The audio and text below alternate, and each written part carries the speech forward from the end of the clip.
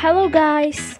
It isn't obvious for whether you are a student or a day to day worker to plan and prioritize the important work within a limited period of time on that day.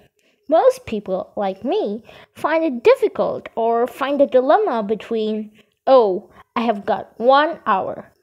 Shall I study for an extra hour for the exam next week, or should I prepare for the speech tomorrow, or just binge watch Netflix? If you have ever been into that dilemma of prioritizing and managing time, well, you have a perfect remedy for it.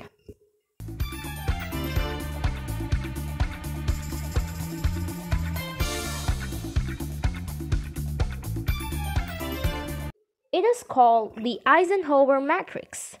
Basically, it was invented by the late President Dwight Eisenhower when he served in the US Army as an Allied force commander.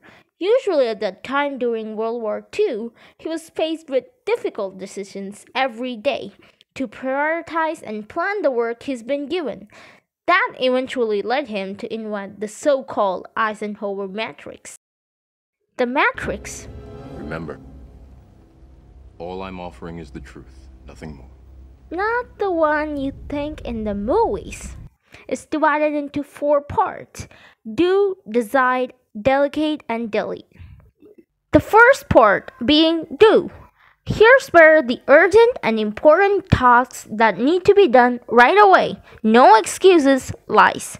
For example, pressing deadlines in projects or studying for the exams or a crisis in the office that needs to be resolved right away.